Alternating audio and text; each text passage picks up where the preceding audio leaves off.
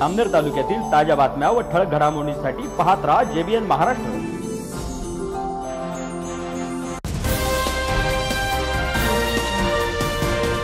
नमस्कार मी मिनल चौधरी. पाहूया काही ठळक वृत्त. जामनेर तालुक्यातील तोंडापूर या ठिकाणी सकल मराठा समाजाच्या वतीने जालना येथे मराठा आरक्षण उपोषणाला बसलेले मनोज जरांगे पाटील यांना समर्थन देण्याकरिता एक दिवसीय साखळी उपोषण करण्यात आले.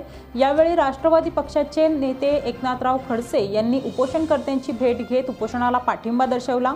यावेळी डी के पाटील सुनील कालभिडे गोपाल पाटील रामेश्वर अपार जितू पाटील सांडू गुरव संभाजी गोतमारे नाना पाटील जगदीश पाटील पितांबर पाटील कृष्णा चोरमारे किरण मोरे आबा पाटील रवींद्र पाटील अमोल पाटील अतुल काळे दत्ता कानडजे यांच्यासह समाज बांधव उपस्थित होते.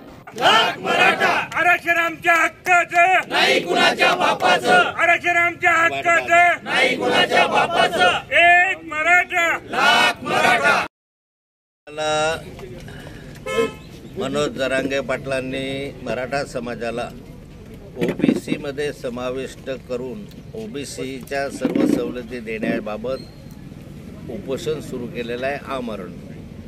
आणि संपूर्ण महाराष्ट्रामध्ये मराठा समाज आज रस्त्यावर उतरलेला आहे आंदोलन सुरू आहे. या ठिकाणी ही दोंडापूरला त्यांच्या पाठिंब्यासाठी लाक्षणिक आंदोलन या ठिकाणी साखळी उपोषणाच्या माध्यमातून आता सुरू आहे. मराठा समाजाला ओबीसी आरक्षणाचा लाभ मिळाला पाहिजे. यासाठी आम्ही मी या ठिकाणी पाठिंबा द्यायला आलेलो आहे. ओबीसीच्या आरक्षणाला धक्का न लागता मराठा समाजाला आरक्षण मिळालं पाहिजे ही आमची भूमिका आहे. केंद्रामध्ये भारतीय जनता पार्टीचं सरकार आहे राज्यामध्ये भारतीय जनता पार्टीचं सरकार आहे.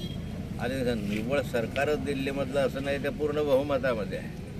आणि त्यामुळे घटनेमध्ये दुरुस्ती करून सोळा टक्के आरक्षण वाढवून मराठा समाजात यायला खरं प्रामाणिक इच्छा असेल तर देऊ शकतात. परंतु भारतीय जनता पार्टीची या ठिकाणी ही प्रामाणिक इच्छा दिसत नाही. निव्वळ मराठा समाजाला खेळवत राहायचं वातावरण बिघडवत राहायचं आणि आपला उल्लू सिधा करायचं आहे असं याच्या माध्यमातून धोरण दिसतं आहे खरी प्रामाणिक इच्छा जर सरकारची असेल तर त्यांनी राज्यघटनेमध्ये दुरुस्ती करून मराठा समाजाला सोळा टक्के आरक्षण द्यावं ही भूमिका आमची आहे. आणि त्या भूमिके जे मराठा समाजानं भूमिका घेतलेली आहे त्या भूमिकेशी आम्ही सहमत आहोत.